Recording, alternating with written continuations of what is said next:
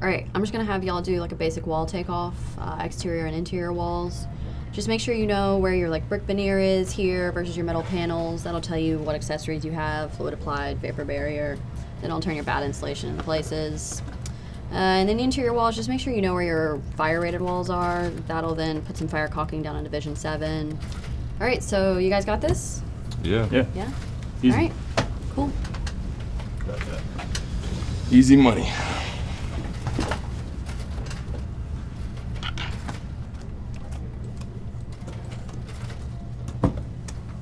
What do you think? That looks awesome. She's gonna love that. How'd y'all do?